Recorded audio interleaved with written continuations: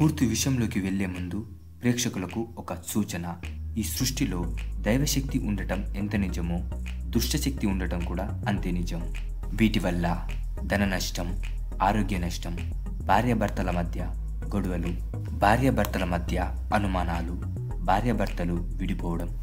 అలాగే కోర్టు సమస్యలు రాజకీయ సమస్యలు చెడు ప్రయోగాలతో సతమతం అవడం ల్యాండ్ సమస్యలు ప్రేమించిన వారు విడిపోవడం ప్రేమికుల మధ్య గొడవలు అవ్వడం అలాగే పిల్లలు చదువులో వెనుకపడడం ఉన్నట్టుండి చిన్నపిల్లల ఆరోగ్యం క్షీణించడం పెళ్ళి కుదురకపోవడం ఇంట్లో గృహశాంతి లక్ష్మీశాంతి ఇలాంటివి లేకపోవడం ఇలాంటి సమస్యలు ఎదుర్కొంటారు.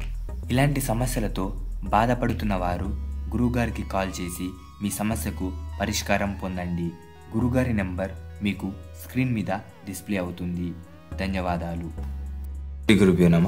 ప్రేక్షకులకు నమస్కారం. ఈరోజు ఈ వీడియోలో మనం కోడిగుడ్డుతో మనం కోరుకున్న వ్యక్తిని మనం ప్రేమించిన వ్యక్తిని లేదా మన భర్తని భార్యని ఎలా వశీకరం చేయాలో తెలుసుకుందాం.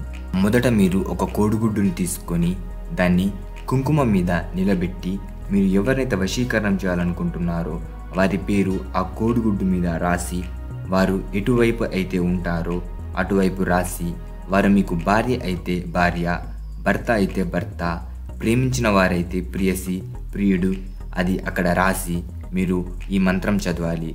జ్ఞాననమాపి చింతాసి దేవ భగవతి హిసా బాలదా కృష్య మోహయ మహమాయే ప్రాయచిత్తి. ఈ మంత్రం చదివి మీరు ఆ కోడిగుడ్డుని ఎక్కడ ఎవరు కాలు పెట్టని ప్రదేశంలో ఆ కోడిగుడ్డుని వదిలేయాలి. ఇలా వదిలేయడం ద్వారా మీరు ఎవరైతే వశీకరణం చేయాలనుకుంటున్నారో వారు మీకు పూర్తిగా వశీకరణం అవుతారు ధన్యవాదములు.